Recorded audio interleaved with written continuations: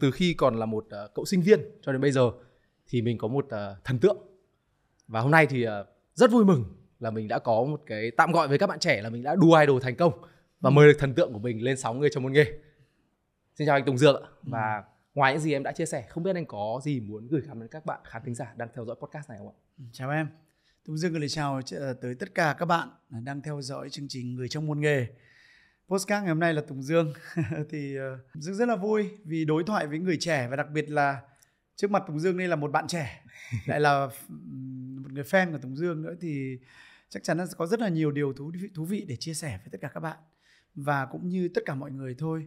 Chúng ta bình đẳng chúng ta luôn luôn có những vị trí trong xã hội. Chúng ta luôn luôn có một sứ mệnh riêng của riêng mình và chúng ta nỗ lực chúng ta cống hiến. Thì ờ, có lẽ là cái cái ghi nhận của mỗi con người, cái đánh giá ở mỗi con người, đó chính là một cái biểu đồ của mỗi người về cái sự quyết tâm của họ có cả một quá trình vươn lên, chứ không chỉ là một sớm một chiều trong một cái hành trình ngắn nào đó, mà đây là cả một quá trình. Thì để được, có được cái điều đấy thì chúng ta phải chuẩn bị rất nhiều bước để đi đường dài. Vâng ừ. em nghĩ là trong trong cái buổi podcast ngày hôm nay thì em rất là vui mừng vì vì cũng có cơ hội để khai thác và hiểu rõ hơn cái hành trình đó của anh Dương ừ. nhưng mà trước khi mình bắt đầu thì em muốn quay lại cái điểm gọi là xuất phát ừ. em muốn hỏi anh một câu hỏi là anh có một tuổi thơ như thế nào một tuổi thơ rất là êm đềm nhưng mà cũng hơi à, thế nào nhỉ thu mình lại một chút với cá à. tính của Tùng Dương à, còn nhớ là cái năm à, mình mình vẫn nhớ trong trong cái tiềm thức của mình khoảng 5 tuổi những người bạn của mình là chiếc lá cây là cái, cái di đô cửa là những chú kiến này chứ không phải là những cái người bạn bình thường uh, những bạn uh, trai bạn gái khác như là các bạn khác vâng. mà lúc đấy là tự chơi thôi mà không có bạn mấy đâu tự trôi vào cái thế giới của mình lúc đấy là đã bộc lộ là mình có năng khiếu âm nhạc ừ. và một lần bố mẹ cho đi xem ca nhạc ở của một đoàn ca nhạc và mình được ngồi ở dưới thì khát khi mà ánh đèn uh, chiếu lên sáng lên và ca sĩ nhảy theo nhạc thì có một cậu bé con ở dưới nhảy còn bốc hơn sung hơn ừ. trong lòng vòng tay của bố mẹ đó chính là Tùng Dương. Và từ lúc đó là bố đã biết là mình có năng khiếu âm nhạc. Và sau này là lớn dần lên là bắt đầu là cho đi hát khắp nơi và thấy lúc đấy là có một thầy giáo của mình đó là anh Khương. Ừ, anh còn trẻ lắm anh học khoa guitar của nhạc viện nhưng anh biết mình có năng khiếu thế là anh ấy đưa mình đi biểu diễn khắp nơi biểu, biểu diễn ở từng cái những, những, những, những cái tiệc của những nhà bạn.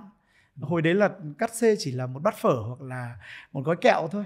Vâng. đấy, thế nhưng mà đấy là một cái tuổi thơ nó không dữ dội gì hết mà nó rất là êm đềm cũng như là uh, trong một cái không khí không một bầu khí quyển về âm nhạc về giáo dục từ thời đấy đối với Tùng Dương. Là bởi vì sao? Bố thì làm nhà giáo bố là giáo viên nga văn vâng. à, mẹ thì ờ, là nhà thiết kế thời trang cũng như là hồi đấy là cắt may uh, hoặc là bà bà học từ hội họa ra thế thì uh, các bác của Dương thì đều là các giáo viên giáo viên văn rồi giáo viên vật lý trường Chu Văn An đấy thế thì toàn là những người mà rất là khó tính khắt khe và thậm chí là rất là nghiêm khắc với Tùng Dương vâng. để có một Tùng Dương mà tôi luyện được ngày hôm nay. Đó là những cái năm tháng mà cũng xa bố mẹ.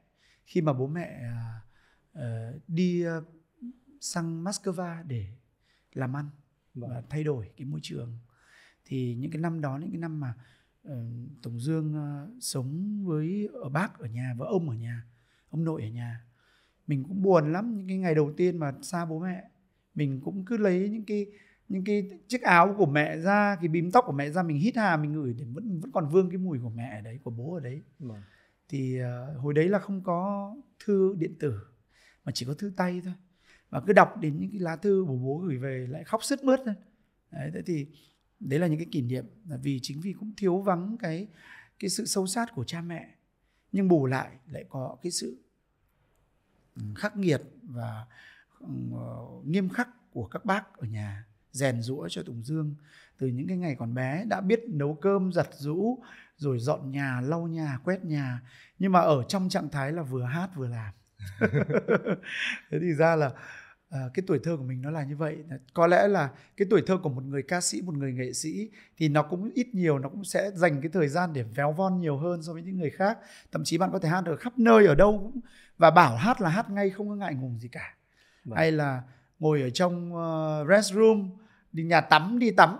Đi đi tắm cũng hát hát vang lên.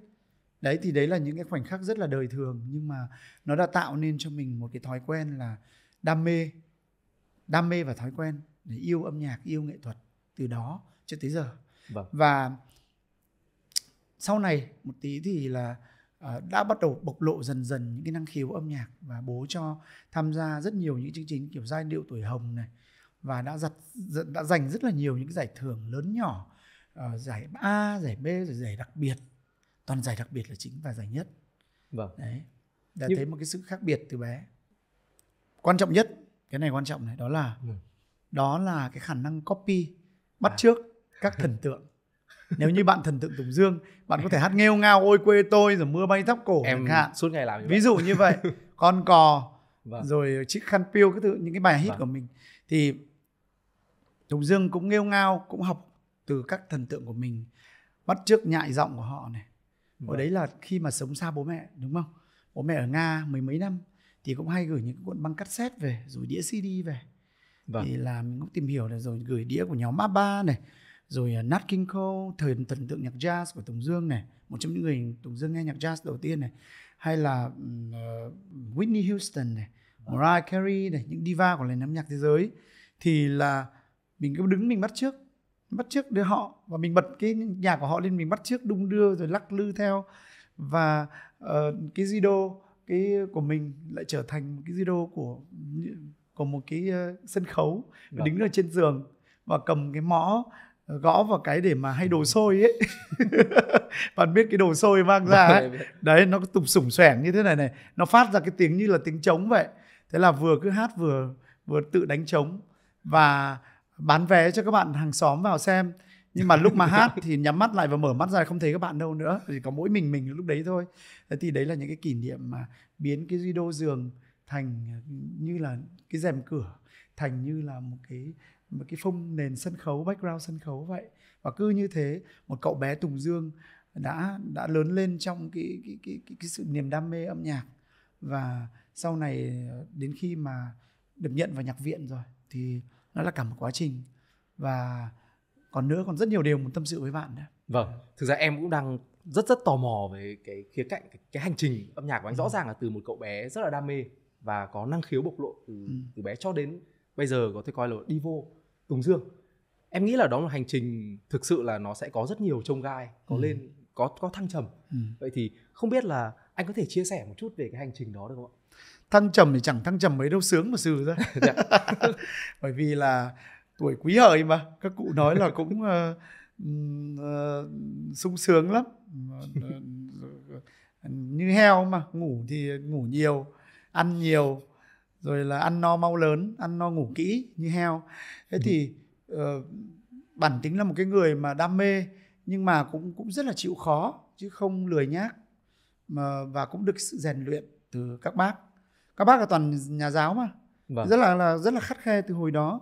Mặc dù là đi biểu diễn lơ là ờ, và ờ, lơ là học học học văn hóa đấy vâng. lơ là rất nhiều. Và hạnh kiểm là cũng bắt đầu là bị bị kém theo là bởi vì đi biểu diễn nhiều quá ảnh hưởng. Thế là các bác lại nhốt lại không cho đi nữa. Và bắt phải học văn hóa. Hai bác cứ dặn là khi nào mà tốt nghiệp xong uh, trung học phổ thông con muốn làm gì con làm. Lúc đấy con đã xong văn hóa rồi là con sẽ phải tiếp tục cái cái đam mê của con là âm nhạc hay là văn hóa hay là các trường đại học. Thế cuối cùng thì chính dương là cái người mà tự quyết định cho mình um, chọn con đường âm nhạc con đường nghệ thuật. Và ừ. cũng cũng biết là nó sẽ rất là trông gai và và không nghĩ rằng là mình sẽ mình có thể được biểu diễn đã, sau này có thể trở thành một người nghệ sĩ nổi tiếng. Nhưng mà nên nhớ rằng năm 1996 lần đầu tiên Tùng Dương đã có cơ hội được biểu diễn cùng chị Mỹ Linh anh Đăng Dương trong cái một cái chương trình cho kiều bào Nga tức là lúc đấy được từ phái đoàn từ Việt Nam sang Nga để biểu diễn. Và Dương đã được hội ngộ bố mẹ với nó được chứng kiến những cái mùa đông lạnh giá của Moscow và được chứng kiến bà con đón Tết như thế nào cũng có bánh trưng cũng có dưa cà Vâng. cũng có mứt Tết và thậm chí là những cái cành đào nhựa cắm ở đấy để cho nó rất là xuân không khí ở những cái salut những cái nơi mà à, những cái phòng mà những cái tru- trung tâm thương mại của người Việt ở bên đó thì mới Vâng. thấy được rằng ồ mình được đi rất sớm và mình được chứng kiến ờ, những cái sự khó khăn những cái sự ừm, thiếu thốn về vật về về tinh thần vật chất của những con người bôn ba xứ nước ngoài thế thì ờ, lại càng cho Tùng Dương một cái sự trưởng thành một cái sự chín chắn rất là sớm. Nhưng mà cũng ừm, nó cũng luôn luôn tất cả những cái gì đến với mình nó đều là hành trang cho mình. Để sau này mà mình ờ, mình mình mình gói ghém nó lại nó trở thành những cái chiêm nghiệm những cái trải nghiệm của cuộc sống của mình. Đó. Em rất là muốn hỏi anh ở đây là Ừ. khi mà ở thời điểm hiện tại khi mà nhìn lại quãng thời gian đấy anh có nghĩ rằng là cái việc mà mình được được hoặc là bị bắt Ừ. học văn hóa đấy ừ. nó có những cái đóng góp gì không đúng là ông trời không cho ai hết cả Vâng. sẽ cho mình cái sự tinh nhạy trong cái nghề nghiệp của mình nhưng lại lơ mơ ở những cái vấn đề khác rất nhiều và cái này các bạn sẽ tự kiểm định thôi bởi vì chúng ta không ai hoàn hảo cả nobody's perfect cho Vâng. nên là chúng ta cũng vẫn phải học và những cái gì mà chúng ta chưa biết thì chúng nghĩa là chúng ta sẽ cần phải vẫn cần phải học và cần phải gạn lọc và và và và bồi đắp cho chính mình đúng là ngày xưa sợ sợ nhất môn hóa ôi rồi ôi lên mà cân bằng phương trình là thôi đấy. Sai bét luôn. Có những cái lần có những cái giờ dự giờ mà cô gọi bất chợt lên Tùng Dương lên lóng ngóng coi như là sợ nhất là môn hóa. Nhưng đại số ờ, hình học thì tạm tạm nhưng văn học thì lại khá hơn. Thế thì đúng là những cái người nào mà hát hò ấy có khả năng ờ, và cái sự nhạy cảm nhất định trong nghệ thuật ấy thường là người ta sẽ học hỏi môn xã xã hội. Vâng. đấy thế thì ờ, môn văn thì cũng là một cái môn mà ngày xưa cũng được Tùng Dương đã được được được được vào lớp chọn văn. Đấy. Vâng. thế thì cũng là một cái tín hiệu rất mừng để mà thấy được rằng là mình không phải là mình cái gì cũng dốt là như vậy. Thì ờ, một cái tuổi thơ nó êm đềm nó không dữ dội gì hết cả. Chỉ có cái là nó vì là thiếu vắng cái sự kề cận của cha mẹ nhưng mà lại bù lại à, cái sự nghiêm khắc của các bác lại giúp cho mình tôi luyện ờ, từ đó. Rất là biết nghĩ biết điều biết ý. Và quan trọng nhất là các bác ấy các bác hướng cho mình là là một cái người rất là khiêm nhường và Wow. và không bao giờ gọi là nghĩ làm cái gì đó nó rất là ghê gớm to tát cả mà khiêm nhường.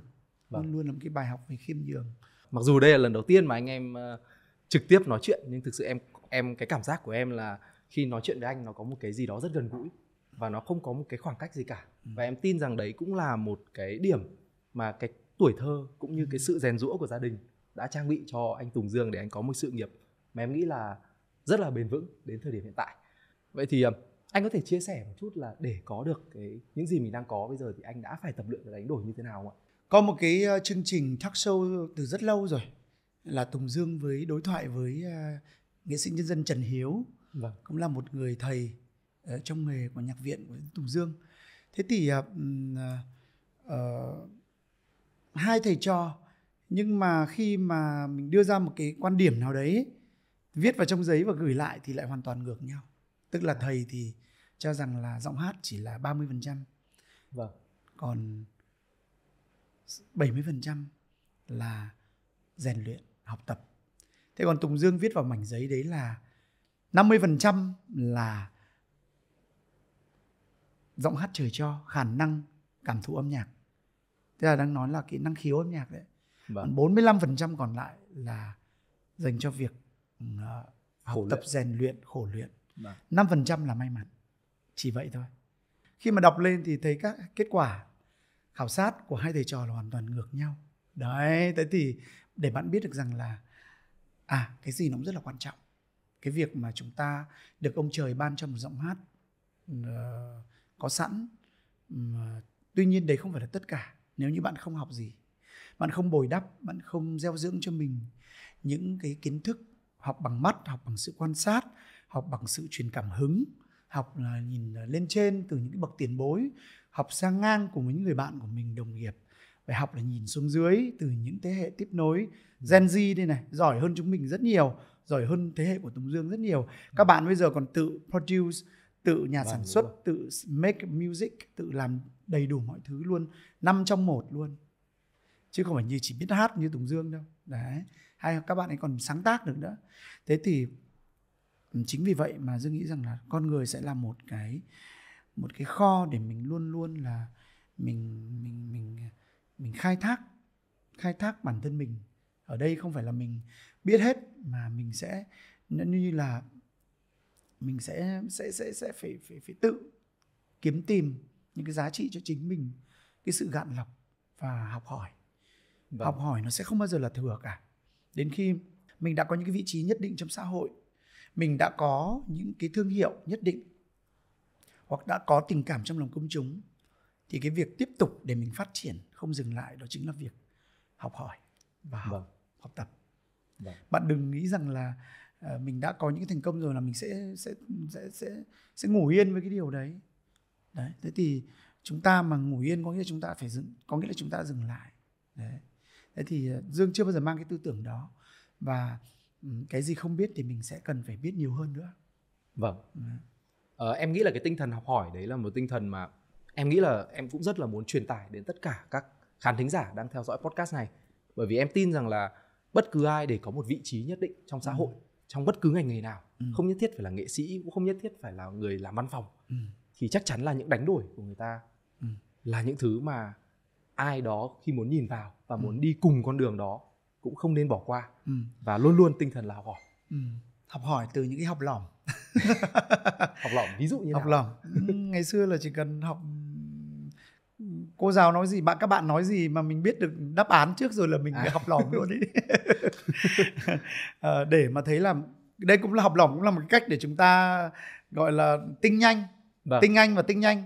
Thế tuy nhiên thì mọi sự nó đều là thực thực chất chứ không thì các cụ lại nói là thùng rỗng kêu to. Đấy.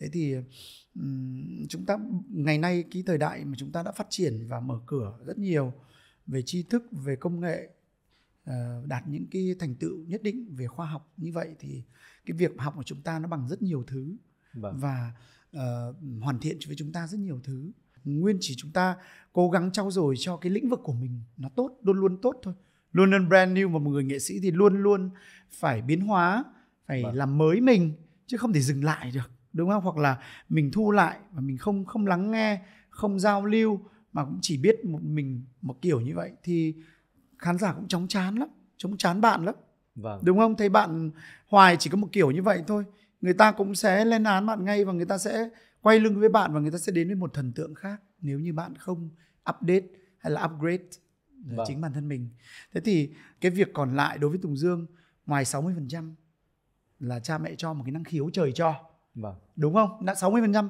là năng khiếu mà chúng ta đi học nhạc mà chúng ta không có năng khiếu nhạc thì chúng ta không thể học được. Không có một cách nào nền tảng cơ sở nào để cho chúng ta giúp cho chúng ta thẩm âm tốt được. À, ngày Ký xưa âm có môn ký xướng âm. Ký xướng âm. Đấy là một trong những cái môn mà phép thử tài cho tất cả các bạn có năng khiếu thật sự hay không. Đấy, thế thì nếu mà chúng ta nghe lại cái bản nhạc chúng ta ghi dựng được ra và là chúng ta hoặc là chúng ta hát lại được cái giai điệu của nó Vâng. một cách hoàn toàn chính xác thì đấy là chúng ta có năng khiếu còn bạn hoàn toàn hát nhưng mà chỉ đúng có được 5% hoặc thì chắc chắn là hoặc là hát sai hát phô hết thì nó rất là khó để có thể học được thì cái đấy là cái mà nó hạn chế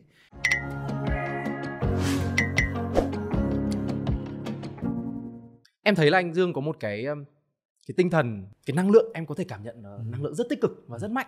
Ừ. Nhưng mà em tin là trong tất cả quá trình, tất cả hành trình của bất cứ ai Ừ. cũng không phải lúc nào mình cũng có năng lượng tích cực được. Ừ. Chắc là cũng phải có một khoảnh khắc nào đấy anh nghĩ rằng là mình muốn bỏ cuộc và muốn chuyển hướng rồi. một cái người thích áp đặt chính bản thân mình như Dương thì ít khi mà À. mà mà mà mà lại ờ, thỏa hiệp hay là gọi tức là chịu gọi là mình ờ, mình mình mất phương hướng về một cái điều gì đấy Vâng.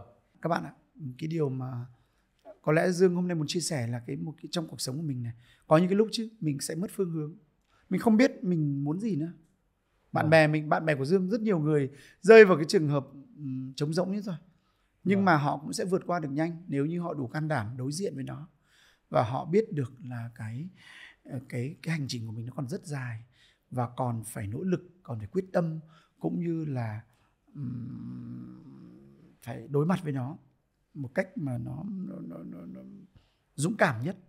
Vâng. Đấy con người phải có phải có lòng dũng cảm. Lửa thử vang mà. Đấy cho nên là dương nghĩ là uh, có những cái lúc mình cũng mất giọng nếu một người ca sĩ mà mất giọng thì đấy cũng là một trong những cái mà ám ảnh của một của ngành nghề vâng. đúng không đúng. một người uh, pianist một nghệ sĩ pianist mà mất đi một một ngón tay thôi vì một cái hoàn cảnh nào đấy mà họ bị accident hoặc là tai nạn nào đấy mà, mà mất nó không trọn vẹn thì cũng là một nỗi ám ảnh với họ thành ra là dương nghĩ rằng là tất cả mọi điều nó có thể đến xảy đến với bất cứ một ai à, những cái những cái niềm lo âu những cái nỗi không may mắn những cái sự không may mắn đến. Thì dương chỉ nghĩ đơn giản rằng là đó mới là cuộc đời. Luôn luôn có hỉ nộ ái ố luôn luôn có cái đen trắng luôn luôn có nó là cạnh bạc mà. Vâng. Thì ờ, nhưng mà chúng ta tự quyết định cái vận mệnh của mình bằng chính cái bản lĩnh của mỗi người. Ở đây là cái bản lĩnh ấy nó cần phải có cái sự tôi luyện qua thời gian. Chúng ta cứ bảo chúng ta có bản lĩnh nhưng mà chúng ta đứng trước một cái ờ, sinh tồn nào đấy thì chúng ta cũng rúm lại chúng ta cũng rất là sợ chứ nếu chúng ta không được rèn luyện đúng không? Vâng. thì ít nhiều nó cũng vẫn còn có thời gian để các bạn có thể rèn luyện có thể nhấm nháp những cái điều mà mà mà chúng ta cảm thấy là nó đã đã trở thành uh, gây những cái áp lực cho chúng ta. Đấy để mà chúng ta đến một cái những cái vùng ánh sáng của chính mình.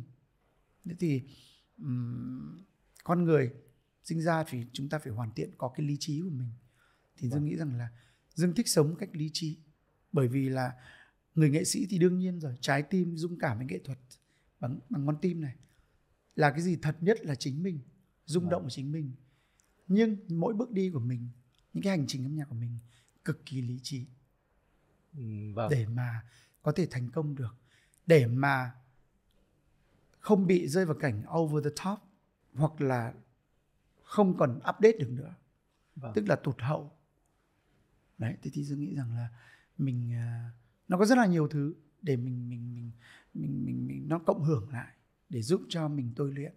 Thì cái bản lĩnh của một người nghệ sĩ hay của một cá nhân ai đó nó sẽ chính là chính là cái thước đo của mỗi con người sau khi mà chúng ta uh, rơi vào những cái bế tắc. Vâng.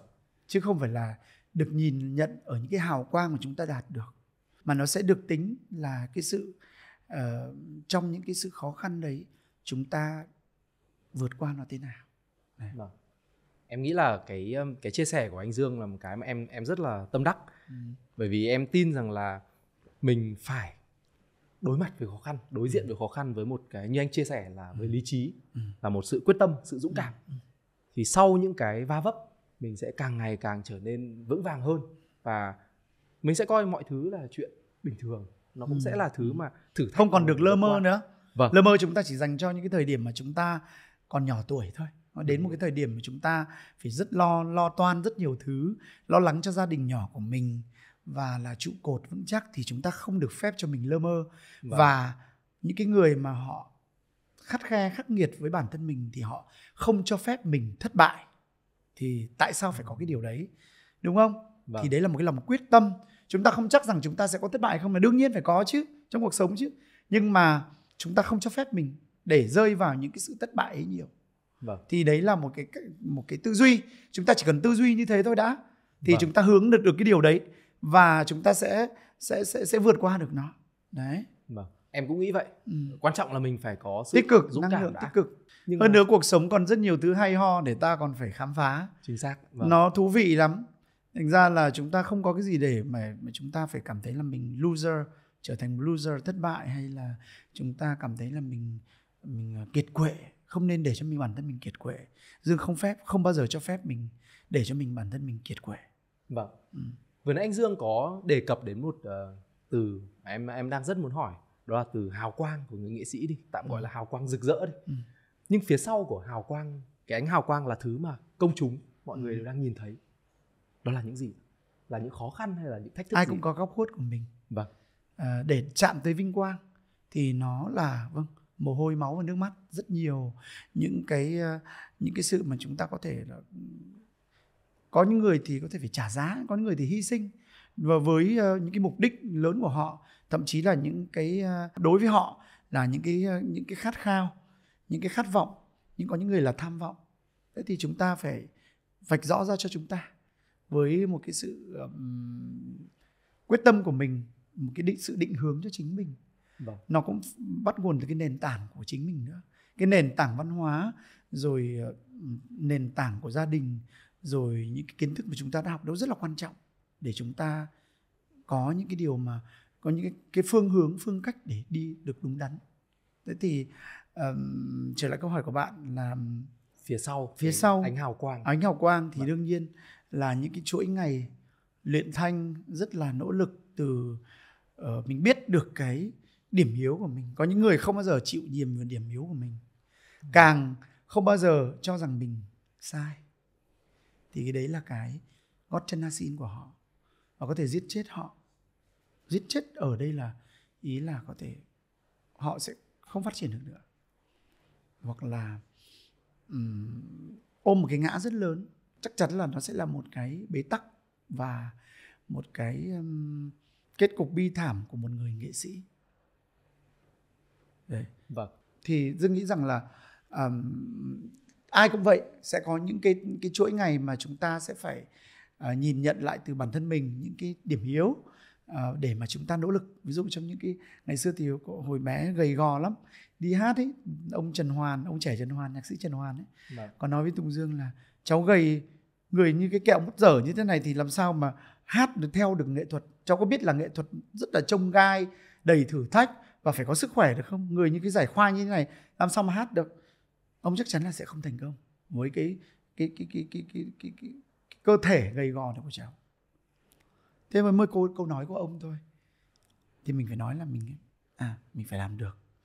Mình sẽ phải phải phải cho ông thấy rằng là mình sẽ làm được cái điều đấy chứ mình không bỏ cuộc đấy thế thì cuối cùng thì từ một cái ờ, ông cháu rất là yếu ớt thế nhưng mà khi mà cất tiếng hát thì lại rất là dư giả về hơi thở vâng. và đến sau này thì mình ờ, khi được ờ, dưới sự học luyện tập của nghệ sĩ nhân dân thầy giáo quang thọ thì ông đã dạy cho tùng dương rất là nhiều những bài tập về hơi thở về cách dựng bài để hát một tác phẩm nó trường ca nó trường sức Vâng. Thế thì chính vì vậy mà sau này dưới tất cả những cái chương trình lớn của đất nước mà được Tùng Dương được tham gia thì được chọn.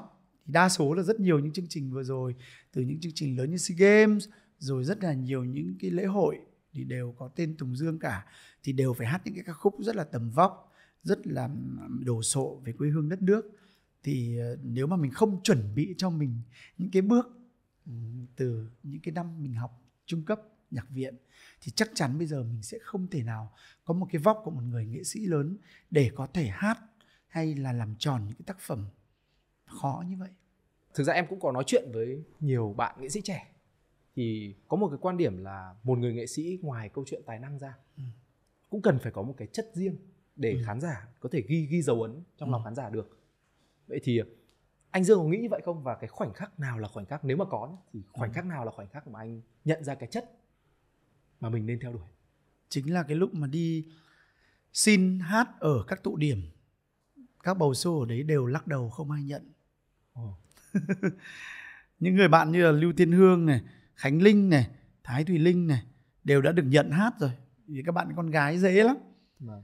thế là đến khi mình đi xin hát thì đến vào mấy khách sạn đấy mấy cái lounge để, để hát cho hầu tử cho họ nghe. Thì uh, các bầu xô cũng nghe xong mình hát xong thì cũng chăm chú lắm nghe xong.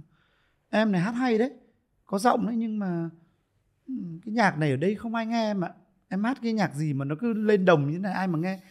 Hóa ra hành trang của mình lúc đấy là toàn nhạc của bộ tứ sông hồng trần tiến nguyễn cường dương thụ phó đức phương hay là nhạc của các divas. Thế thì làm sao mà có thể hát được ở các cái ờ, cái cái bar như vậy vâng. thì nó không phù hợp.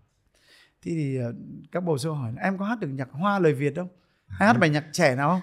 Mình ngớ ra ngớ người ra là ôi tôi chết rồi mình không thuộc bài nào cả. Không thuộc những cái bài hát nhạc trẻ mấy. Vâng. mà chỉ thích hát những cái gì mình hát. Những cái gì lắt léo những cái gì mà nó khó hát thì mình lại thích hát từ nhỏ. Đó là một cái cá tính âm nhạc chỉ thích hát thích hát những bài khó. Vâng. Thì lúc đấy mình tưởng là trời sập xuống đất rồi. Coi như là không uh, có lẽ mình thất bại rồi. Bây giờ mà mình đi xin hát như này mà không ai nhận thì sau này làm sao mình có thể nổi tiếng được? Đấy nếu như mà mình không đủ nghị lực không đủ quyết tâm thì mình không bao giờ mình có thể mình nghĩ là mình là người của công chúng được thành công với cái cái niềm đam mê âm nhạc của mình. Đấy. Thế thì cuối cùng thì sau ờ, những cái cột mốc quan trọng như là sao mai điểm hẹn giọng hát Hà Nội và gặt gái đến 13 giải thưởng cống hiến rất nhiều những cái cái cái cái, cái cột mốc quan trọng những cái giải thưởng quan trọng thì đã giúp cho Tùng Dương là à, định hình và phát triển cái con đường âm nhạc của mình như vậy. Cá tính âm nhạc của mỗi người. Bây vâng. giờ cái cá tính nó không đủ đâu. Cá tính nó chỉ là một cái gì đó nó nó nó ở bên trong của con người bạn thôi. Nhưng mà bây giờ nó phải là một cái nó gọi lên là một cái cái xu hướng cũng như là xu hướng nó vẫn chưa đủ. Có nghĩa là nó sẽ là một trường phái của mỗi người. Đấy. Vâng. cái cá tính nó quyết định được cái trường phái của mỗi người. Bạn phải tạo ra cái trường phái. Đó. Vâng. chứ không phải là à, ngoài cái việc là bắt bắt bắt kịp trend xu hướng thì cái quan trọng hơn là mình sẽ phải tạo ra những cái xu hướng tạo ra cái trường phái cho chính mình. Thì dân nghĩ rằng là mình tự hào về cái điều đấy. Vâng. Mình có thể chịu ảnh hưởng từ những cái người thần tượng nổi tiếng trên thế giới mình học hỏi từ họ rất nhiều. Nhưng không phải là thay vì là mình bệ, bệ nguyên tất cả những cái hay của họ mà mình gạn lọc mình chất chất lọc từ những cái hay của họ. Mình học lỏm đấy gọi là học lỏm đấy. Hoặc là học có cơ sở uh, và học được những cái, cái những cái cái base cái cái nền móng của mình nó tốt thì sau đấy là mình sẽ đi một con đường dài để mình không bị loay hoay mà mình vẫn rất là trường sức cũng như là mình cái cái cái cái cái, cái những cái những cái ý tưởng trong đầu của mình nó đến với mình rất nhanh ngồi trước mặt bạn đây là dân đã có rất nhiều những ý tưởng phải làm gì cho những cái bước tiếp theo của mình đấy vâng.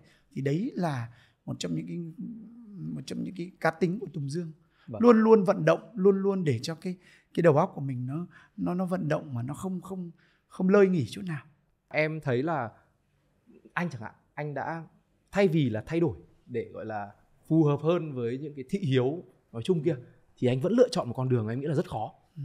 Thế đâu là cái động lực và đâu là cái thứ cốt lõi khiến cho anh có cái niềm tin mạnh mẽ như thế ạ khi mà giới thiệu giọng hát của mình trong sao mai điểm hẹn mà vâng. đạt giải quán quân của hội đồng nghệ thuật bình chọn thì dương biết được rằng là à âm nhạc bây giờ nó không nó không chỉ là những bài hát uh, pop dễ nghe mà nhạc uh, gọi là nhạc đại chúng vâng. mà những người âm nhạc kén hơn cũng vẫn có đất của mình vẫn có khán giả của mình và vẫn tạo ra giá trị riêng cho mình thì khi bằng chứng là với cái giải thưởng quán quân của mình thì mình cũng đã ít nhiều đã có cái, cái, cái sự tự tin nhất định vâng. để mình à, tiếp tục theo đuổi để những cái cái dư vị sáng tạo của mình ở trong cái những cái dự án âm nhạc của mình dài bất tận từ một tùng dương um, uh, li ti năm nào ô màu khối lập phương chạy trốn còn năm đầu tiên mà vâng. bạn nếu chắc bạn là một fan của tùng dương chắc chắn phải nhớ những bài hát vâng. trong những cái cuốn album đó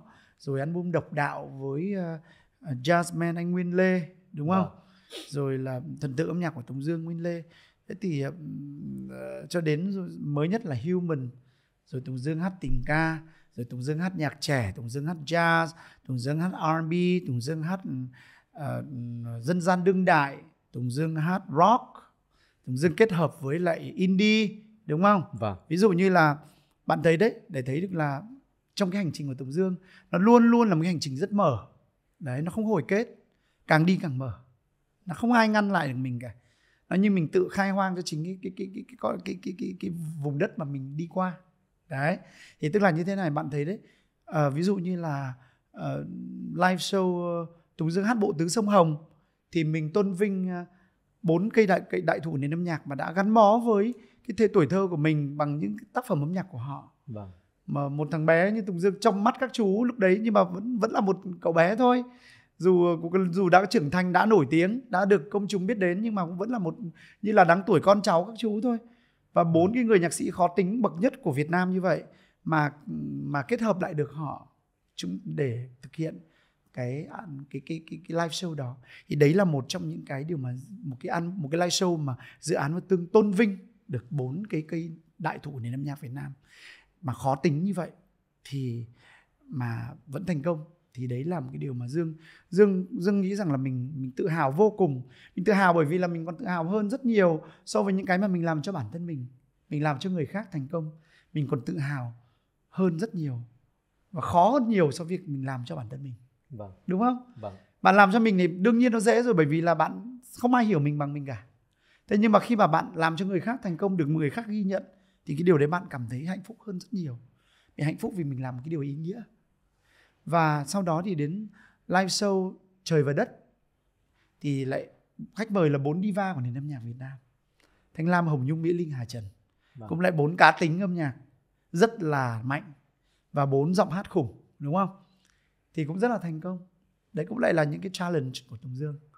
Và đây là một cái concept. Thế tiếp theo là đến uh, um, human là gần gũi với giới trẻ hơn. Vâng. Là chúng ta là bạn đã thấy Tùng Dương hòa ngọt hòa giọng với ngọt rồi hòa giọng với Bùi Lan Hương rồi nào là G Ducky đúng không? Đúng toàn những tên tuổi rất là trẻ. Thì bắt đầu cái sự trẻ hóa của mình nó bạn đã thấy được là mình không ngại làm việc với người trẻ không ngại đứng chung sân khấu với họ mà thậm chí là còn ừ, đi vào cái giới thế giới của họ bằng cách là mời họ tới với chủ nhà. Nhưng không bắt họ phải hát âm nhạc của nhạc của chủ nhà mà mình giao lưu với họ mình hát nhạc của họ. Bạn đã thấy Tùng Dương hát What goes around comes around. Người ta gieo gió rồi gặt bão của ban nhạc ngọt với thắng đúng không? Vâng. Hồi đấy mình hát cũng rất là máu lửa mình như là một thành viên của ngọt vậy. Hay là mình hát ờ, với Bùi Lan Hương trong sáng tác của Bùi Lan Hương. Vâng. Hay là rồi là bài hát ngày chưa rông bão với song ca với Bùi Lan Hương đã trở thành bài hit. Vâng. Tức là đã đã là một bài hit rồi nhưng mà qua cái cái phần song ca của Tùng Dương và cái phần solo của Tùng Dương thì bài hát lại có thêm nhiều version với một cái cái cái cách hát của Tùng Dương nữa. Đấy nó tạo ra một cái hát mà nó hoàn toàn đối nghịch lại với bản trước đấy của Bùi Lan Hương đấy thì đấy lại trở thành trend trên các mạng xã hội đúng không? Live show 20 năm ca hát vào năm hai năm trước. Lại là một cái cuộc chơi rất thú vị khi mà Dương có nhịp nhìn lại 20 năm rực rỡ của mình. Và với những cái cộng sự đã thân thân thiết như uh, Diva Thanh Lam, Hà Trần rồi là những bạn trẻ hơn như Hà Lê, Nguyên Linh, uh, Đào Tố Loan. Đấy những cái giọng hát rất là uh, vocalist rất là tốt. Thế thì đã cùng chung giọng cùng cùng cùng cất giọng hát với Tùng Dương. Thế thì năm nay sẽ làm cái điều gì tiếp theo sau đây đây? Chắc Vâng. chắn là lại phải tiếp tục trẻ hóa chính bản thân mình bằng cái nguồn năng lượng từ trẻ từ các bạn trẻ. Anh anh có thể chia sẻ thêm một chút về cái dự định trẻ hóa trong năm nay được không ạ? Chỉ vài ngày nữa thôi thì Dương sẽ phát hành cái sản phẩm uh, trình làng đầu tiên trong năm nay của mình. Vâng. đó chính là dự án mà MV cánh chim phượng hoàng.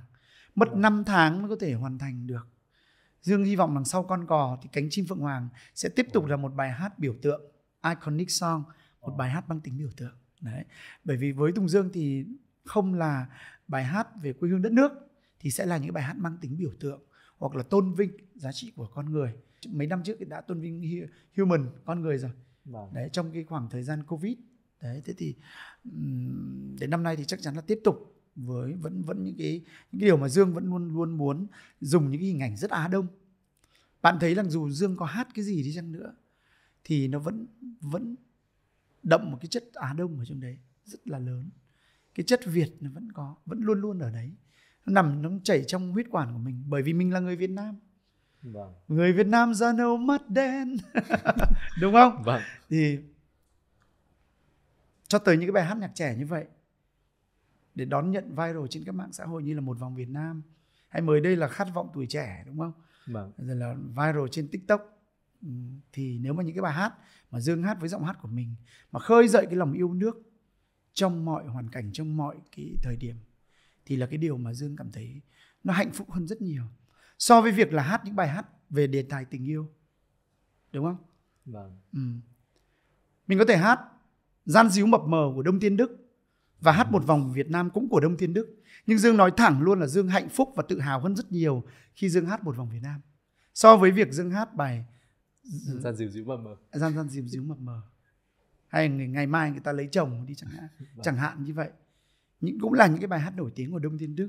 Nhưng khi hát về màu cờ sắc áo, về đất nước mình, mọi người cứ hỏi tại sao lại da đen da nâu mắt đen mà không phải là da vàng đương nhiên da vàng thì ai cũng biết rồi đúng không nâu là vẫn là một cái tính từ thể hiện cái đức tính cần cù chịu khó của con người làn da rám nắng phơi xương của con người lao động Việt Nam thế thì Vâng. dân nghĩ rằng là đấy là cái nét đẹp lao động mà mình được tôn vinh mình được hát thì khi mà mình hát lên mà trở thành trend viral cõi mạng thì cái điều đấy mình còn hạnh hạnh phúc hơn rất nhiều Vâng. và mình biết rằng là à âm nhạc nó có những cái giá trị mà nó rất là lớn mình cũng chỉ biết là mình hát như thế thôi nhưng mà quan trọng nhất là khi mà cái sản phẩm tới với mọi người thì mình cũng không thể hình dung ra được cái, cái sức nặng hoặc là cái sức lan tỏa của nó lớn đến như vậy đấy thì Vâng. đấy là cái chúng ta lại nói đến một cái cách mạng công nghiệp gọi là 4.0. ừm, đúng rồi Vâng. và công nghệ của con người nó đã thay đổi như thế nào? Công nghệ biểu diễn làm sao? Công nghệ trong khoa học, rồi công nghệ trong sản xuất như thế nào? Nó rất là nhiều ngành nghề. Nhưng đối với các người nghệ sĩ biểu diễn thì khoa học càng phát triển, rồi công nghệ càng phát triển, thì càng là những cái điều rất là tốt cho người nghệ sĩ được được tung tẩy thể nghiệm, được, thậm chí bạn ờ, bạn có thể trò chuyện với AI bạn có thể tạo từ AI ra một cái giọng hát giống y hệt của mình, hoặc là tôi muốn là cái người thần tượng để mà hát bài của tôi thì nó sẽ như thế nào, hình dung ra như thế nào, hoặc là tôi hát bài hát của họ thì nó sẽ như thế nào. Ví dụ như vậy chúng ta có thể có rất nhiều cái sự giả định thú vị, nhưng cái đấy nó chỉ là máy móc làm cho giúp cho chúng ta để mà biết được cái cái quy trình, tức là biết được cái sự phát triển của chúng ta đang ở mức nào. Còn nó không thể làm thay được, máy móc không thể làm thay con người được. Và họ không thể sáng tác giúp cho con người được một bài hát được. Máy móc sáng tác thì đấy là cái chất xám của máy móc đúng không? Đấy không phải tức là đấy là cái cái, cái setup của máy móc rồi chứ không phải chất xám của chính chúng ta nữa. Vâng. thế cho nên là con người vẫn quyết định cái sự vận hành của nó và máy móc chúng ta có đến công nghệ có đến nó cũng chỉ là giúp cho con người ừm, kết nối tốt hơn và thúc đẩy được mọi thứ nó nhanh hơn kể cả việc sáng tác kể cả biểu diễn hoặc là những cái công nghệ về biểu diễn sân khấu nó sẽ giúp cho chúng ta tải được những cái ý đồ to lớn Vâng. để cho mỗi một ekip như ekip của Tùng Dương hàng năm có thể tổ chức những cái live show lớn.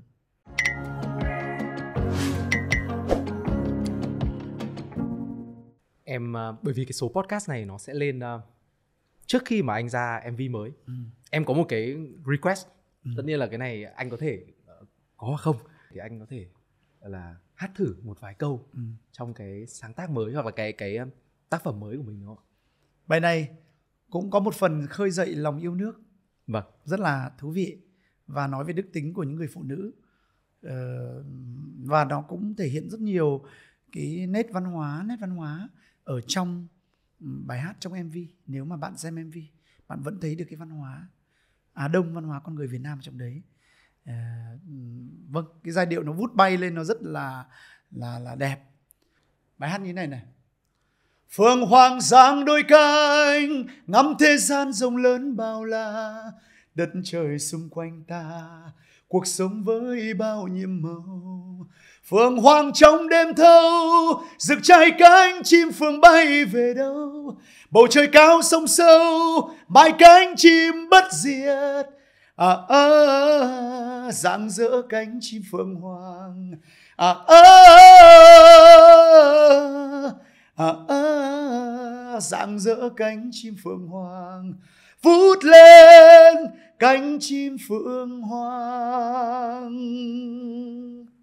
Hay quá. giai hay điệu quá, rất quá. là đẹp và dễ nghe Vâng. và rất là catchy chứ nó cũng không quá trúc chắc và với phần rap của Double Tutti Ồ, Đó. có cả double tutti luôn. à, xuất hiện trong cái cuốn MV này nó sẽ um, lại trẻ hóa nữa một lần nữa Vâng. nhưng mà kết nối và có rất nhiều những nhân vật à, có mặt trong cái cuốn MV này Rồi thực sự là rất rất đáng để trông đợi đấy và một MV rất công nghệ tức là Ồ. sử dụng 3D từ đầu đến cuối vâng quay phông xanh Vâng. nhưng mà lại đưa cho chúng ta một cái một cái những cái không gian rất là bao la rộng lớn và đều là hoàn toàn là đều chúng ta tự những cái viễn cảnh mà chúng ta tự tạo ra Vâng. Đấy. Em nghĩ là cái từ chuẩn xác mà em cảm thấy là để mô tả cái cá tính âm nhạc của anh nó là anh luôn luôn muốn thể nghiệm thử nghiệm những thứ rất là mới rất là ừ. đi gọi là khỏi vùng an toàn của mình em nghĩ đấy là một thứ rất rất rất rất đặc biệt của một người nghệ sĩ ờ, nếu mà nói là thể nghiệm thôi thì dương lại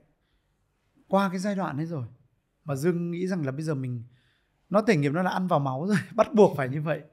Không phải là cái giai đoạn chớm để thể nghiệm nữa. Để loay hoay để thể nghiệm là gì? Mình chưa biết mình có thành công hay không. Vâng. mình chưa biết nó sẽ xảy ra như nào.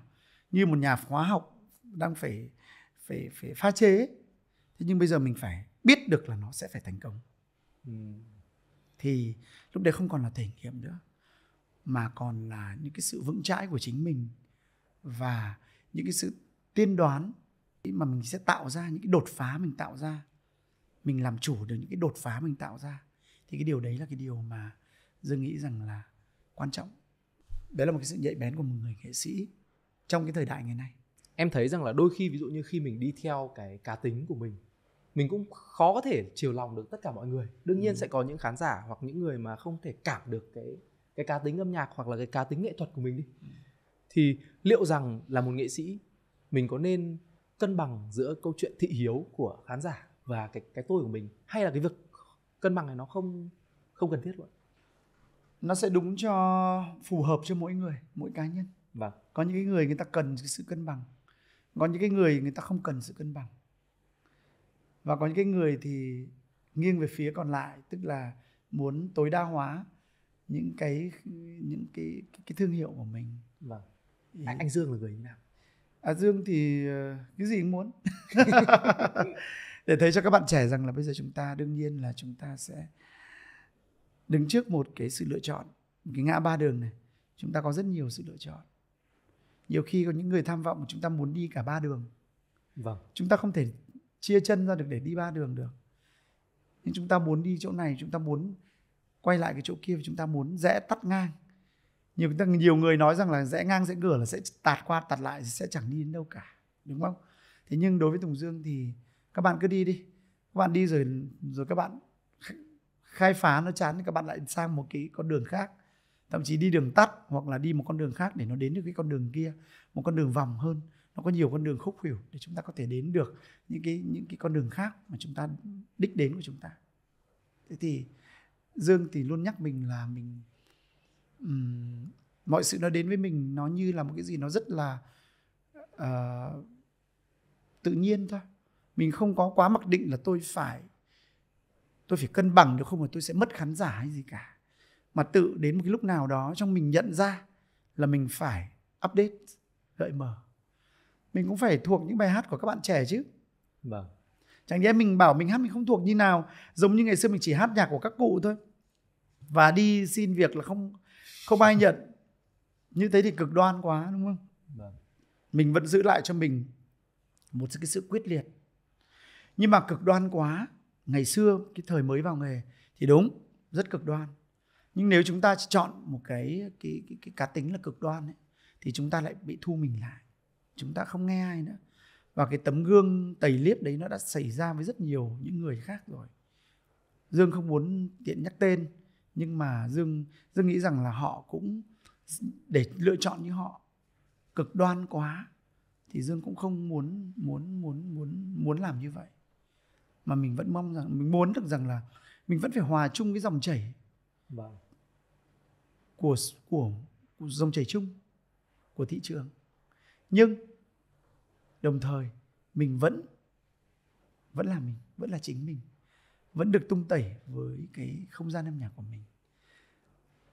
Ai cũng sẽ cố gắng để trở thành một cái gì đó nó unique cho chính bản thân mình. Với cộng đồng. Đấy.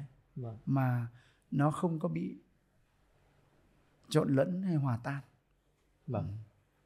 em nghĩ chắc đấy cũng là lý do tại sao mà thời gian gần đây anh cũng có rất nhiều những cái kết hợp với các nghệ sĩ trẻ như anh vừa chia sẻ ừ. hoặc là cover những cái bản nhạc rất là mới. Thì khi mà anh làm việc với những người trẻ, những nghệ sĩ trẻ như vậy đi, thì anh có cảm thấy rằng là mình, gọi là, có một cái áp lực gì đấy? Các bạn trẻ đừng cảm thấy mình quá áp áp lực bởi một cái gì chúng ta phải đặt ra, hay là chúng ta sẽ trở nên cáu bẩn với tất cả những cái điều đấy mà chúng ta chưa thực hiện được. Nó cho mình những cái lo lắng. Nếu mà chúng ta còn những cái điều đấy thì chúng ta sẽ không bước qua được chính cái sự giới hạn của chính bản thân mình đâu. Chúng ta kệ nó, vứt nó sang bên xách ba lô và đi, nếu mà các bạn muốn. Và cuộc đời sẽ cho các bạn rất là nhiều những cái trải nghiệm, những cái bài học quý giá, những cái mối quan hệ ờ, những cái cái sự tốt đẹp, những cái những cái sự chia sẻ mà bạn sẽ đón nhận được. Chính vì vậy mà cái âm nhạc của bạn nó sẽ là mở, nó sẽ luôn luôn cái con đường của bạn, con đường âm nhạc của bạn. Thế tôi đang nói là về những người làm nhạc, thì là nó sẽ luôn luôn open luôn luôn phóng khoáng một người nghệ sĩ phải phóng khoáng. Không được nghĩ những cái tủn mùn. Không chỉ nghĩ cái nhỏ nhỏ nhặt hay nghĩ những cái lớn. Chứ uh, nhìn vào những cái cái nhỏ của nhau và chấp nhau chấp ngã những cái nhỏ thì lại cũng không không phải là những cái người nghệ sĩ uh, không phải là những cái người nghệ sĩ có những cái uh, có những cái sự gọi là đột phá. um, tức là uh, chúng ta tức là chúng ta muốn ra khỏi vòng an toàn của mình. Và với mỗi người một người nghệ sĩ thì cái vóc của một người nghệ sĩ nó rất quan trọng. Đấy. Để cho thấy rằng à cái vóc của nên nó bao gồm là như này cái cá tính của họ này con người họ cái cách của họ thể hiện với cộng đồng với bên ngoài và những cái giá trị họ để lại những cái điều mà họ sáng tạo được ghi nhận tất tần tật cái điều đấy nó tạo nên một cái vóc của một người. Đấy. thì tôi nghĩ rằng là hãy nhìn nhận với mỗi người nghệ sĩ ở cái vóc của họ nhiều hơn. Đương nhiên cái tiếng hát của họ nó sẽ ở lại nó sẽ ở lại với mãi mãi mãi. Nếu như chúng ta thể hiện rõ cho mọi người thấy được cái vóc của của chính mình cái con người của chính mình con đường đi của chính mình, cái sự đột phá trong âm nhạc của chính mình và những tác phẩm âm nhạc để lại. Chứ không phải là một người hát hay. Một người hát hay thôi không đủ. Đấy. Thì ờ, dương nghĩ rằng là đấy là những cái điều mà muốn chia sẻ với tất cả các bạn. Còn các ngành nghề khác cũng vậy thôi. Tôi nghĩ là muốn trở thành một nhà văn thì chúng ta phải trở thành một nhà văn có thông điệp, có những cái ờ, những cái tác phẩm để lại bằng chính những cái thông điệp. Sau đó những cái bài học rút ra từ những cái tác phẩm đó. Chứ không chỉ là những cái tác phẩm mà đọc xong rồi cuối cùng là xếp lại và không nhớ được gì và không rút ra được cái điều gì thì công chúng sẽ không ai nhớ đến người người nhà văn đó cả đúng không? Hoặc nhà thơ nhà văn nhà thơ hay là một người bác sĩ tận tâm thì họ cứu chữa cho cho người dân cho cho cho cho, cho cộng đồng. À, ngoài cái việc chúng ta cứu chữa thì cái cái cái cái việc thể hiện cái hành động của họ những cái sự thể hiện của họ sự ân cần của họ sự sự hết mình của họ sẽ cho thấy được một cái một cái, một cái vóc của họ hoặc là cái sự cố gắng của họ với cộng đồng vâng. để có thể chia sẻ những cái lợi ích gì những cái điều gì kịp thời cho cộng đồng những cái điều gì tốt đẹp nhất để chúng ta tránh ra những cái điều mà nó tiêu cực hoặc là những cái gì mà nó nó nó giúp cho chúng ta bị ảnh hưởng tới sức khỏe đời sống ảnh hưởng tới chất lượng cuộc sống thế thì thì dương nghĩ rằng là bất cứ ai cũng vậy trong bất cứ ngành nghề nào thì chúng ta hướng đến một cái điều là mình là một cái người nghệ sĩ một người có vóc em tin là thành công bền vững trong mọi lĩnh vực ừ. thì nó cần nhiều hơn là chỉ kỹ năng chuyên môn năng lực về mặt chuyên môn đơn thuần thế thì nếu mà mình muốn trở thành một người ca sĩ mà có một cái sự nghiệp phát triển lâu dài ừ. Một sự nghiệp bền vững mà mình có thể làm những thứ mình đam mê liên tục sáng tạo liên tục tạo ra những thứ có giá trị với chính mình và với cộng đồng. Thì một người ca sĩ nên hướng đến những cái kỹ năng nào khác ngoài khả năng ca hát ạ? Đúng rồi hát không không đủ đâu. Nhất là trong một xã hội hiện đại như thế này chúng ta phải biết tuốt. Cái gì chúng ta phải biết? Mỗi chúng ta biết một tí cũng được. Vâng. à, thì cái sự bồi đắp về kiến thức về uh, nó là hành trang cho chính mình để mà chúng ta uh, bồi đắp cho cái tiếng hát của mình. Cái tiếng hát của mình nó không phải là hay một cách mộc mạc một cách đơn giản một cách mà bản năng mà cái tiếng hát hay phải có cái trí tuệ trong đấy. Vâng. đấy thì thì mới là thực sự là có thể và cộng với rất là nhiều những yếu tố nỗ lực của mình nữa yêu nghề đam mê và rèn luyện và luôn luôn không ngừng sáng tạo luôn luôn đột phá và có những cái ý tưởng rất là là là là, là khác biệt. Và ờ, nhiều khi là ờ, mình cũng không không tự tìm đến xu hướng đâu mà tự xu hướng tìm đến mình. Phải như vậy. Thì có khi lại là tức là sứ mệnh của một người dẫn dắt thì sao? Đấy các bạn đừng bao giờ từ bỏ mơ ước. Mơ ước ở đây chúng ta mơ ước là chúng ta không phải là chỉ mơ ước là một người ca sĩ hát hay mà chúng ta biết đâu chúng ta trở thành một cái người leader một cái người nghệ sĩ có một cái vóc lớn ở đây là uh, sẽ ngoài cái sự, cái thành công của họ là một cái sự dài hơi trong nghệ thuật đi được lâu dài. Làm sao mà đến 75 tuổi bộ 80 tuổi vẫn đứng trên sân khấu biểu diễn và vẫn đủ sức hát. Thế thì đương nhiên là không có gì là mãi mãi cả. Nhưng đối với tùng dương thì dương nghĩ là um, cái tri thức của mỗi người uh, nó rất là quan trọng. Và cộng với lại cái cái cái cái cái cái, cái văn hóa. Mỗi ca sĩ cũng luôn luôn phải mỗi người nghệ sĩ luôn luôn cũng cũng phải cố gắng để sống và cũng cũng hướng tới cái cái cái như là một cái cái cái cái nhà văn hóa. Một cái, cái, cái gọi là một cái một cái người mang tới những cái uh, thông điệp thông qua âm nhạc. Đương nhiên là không phải là trở thành KOL đâu không hẳn là như vậy nhưng mà chúng ta vẫn dùng âm nhạc để chúng ta nói rất nhiều những cái khát vọng về những cái giấc mơ, về những cái sự hồi tưởng và suy tưởng của mỗi con người. Cái gì nó cũng sẽ có triết lý, triết học ở trong đấy thì nó sẽ hay hơn rất nhiều. Bởi vì triết học là nền tảng. Bạn đừng bao giờ làm cái gì mà nó thiếu vắng triết học. Thì dương nghĩ là nó sẽ ờ, sẽ đi được xa hơn là chỉ là một cái những cái gì nhất nhất thời là năng khiếu bẩm sinh trời cho. Bạn hát hay bạn hát dung cảm nghệ thuật tốt nhưng không có nghĩa là bạn sẽ um, sẽ sẽ sẽ theo được nghệ thuật. Đấy. Chúng ta phải bị chuẩn bị rất nhiều những cái bước tiếp theo cho nó để có thể trở thành một người nghệ sĩ một cái tầm vóc âm nhạc. Em vẫn có một cái câu hỏi cuối cùng mà em thường hỏi tất cả khách mời của người trong nghề đó là nếu như có một lời khuyên mà đây dành cho những người những bạn trẻ mà muốn theo đuổi cái cái sự nghiệp về ca hát sự nghiệp về nghệ thuật.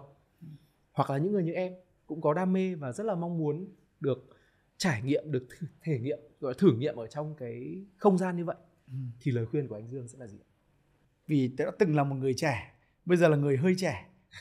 Thì tôi thấy rằng là tôi cũng vẫn nên vẫn nhắc các bạn trẻ uh, là sẽ không bao giờ được chủ quan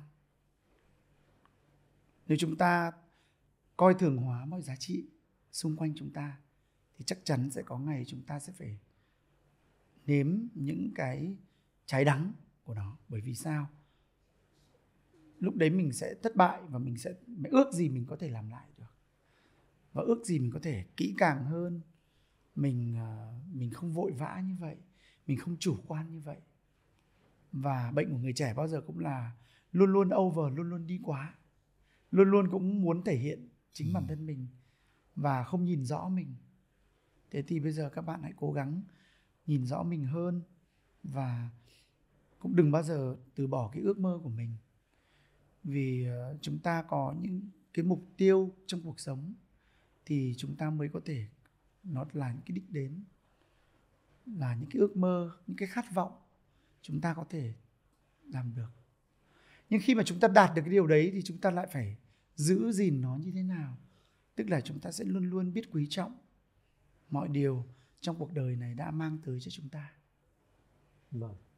Em nghĩ đấy là một lời khuyên rất là sâu sắc và nó nó mang tính ứng dụng rất cao. Bởi ừ. vì rõ ràng là mình phải có những trải nghiệm và rất nhiều những va vấp thì đó là những thứ mình đúc kết được. Và em tin rằng chắc chắn với các bạn khán thính giả của podcast này podcast này cũng như là những bạn nghệ sĩ những bạn trẻ nói chung cũng nên gọi là soi chiếu để ừ. để rút ra bài học cho riêng mình ừ. một lần nữa thì em em rất là cảm ơn anh Dương vì ngày hôm nay đã dành thời gian đến đây để nói chuyện với em trong một số podcast mà đối với em là một số podcast cực kỳ đặc biệt bởi vì như em nói là uh, em cũng đã là fan và theo dõi anh rất lâu em cũng là một người rất đam mê âm nhạc rất đam mê ca hát và từ lâu thì em vẫn luôn mong muốn rằng sẽ có những ngày mà mình sẽ được nói chuyện với những người như anh Dương hoặc là những người khác nữa những người mà em nghĩ là hành trình và sự nghiệp cũng như cái nỗ lực của mọi người trong nghệ thuật trong âm nhạc là những thứ đã được chứng minh và là những thứ đã được ghi dấu trong cộng đồng. Thì um, em cũng rất hy vọng rằng là sản phẩm sắp tới của anh Dương sẽ là một big hit sẽ là một thành công lớn và bọn em chắc chắn sẽ cố gắng hết sức để có thể Cày view. một phần nào đó. Em cá nhân em là và gia đình là thế nào cũng sẽ cày view để xem xem là mình sẽ sẽ sẽ đóng góp được đến đâu cho cái thành công này. Và em tin rằng nó cũng là một sản phẩm mà với sự ờ, quyết tâm này với sự nỗ lực cũng như là với kinh nghiệm và kỹ năng của mình thì anh Dương cũng đã có sự tự tin nhất định và chắc chắn là nó sẽ đạt được một cái cột mốc nào đó mà em tin là nó sẽ sẽ rất là tốt. Em cũng hy vọng là trong tương lai mình sẽ có những cơ hội khác để trò chuyện ngồi xuống và cảm ơn anh một lần nữa vì cái buổi trò chuyện ngày hôm nay em thực sự là rất biết ơn anh vì điều đấy Cảm ơn em. À, thưa tất cả các bạn, Tùng Dương đã có những cái giây phút rất là thú vị khi được trò chuyện tâm sự à, những điều thầm kín à, của Tùng Dương về những cái uh, những cái trải nghiệm của Dương thôi. Muốn uh, chia sẻ với tất cả các bạn như những cái điều gì thiết thực nhất để chúng ta có thể cảm nhận được à, với uh, tất cả các bạn với MC Việt Anh cũng như là với uh, uh, những ai mà không bao giờ từ bỏ ước mơ để để cho nghệ thuật. Tùng Dương gửi lời chúc cho tất cả các bạn khán giả của người trong môn nghề sẽ luôn luôn thành công và đạt được những ước mơ, những hoài bão mà các bạn đã đặt ra.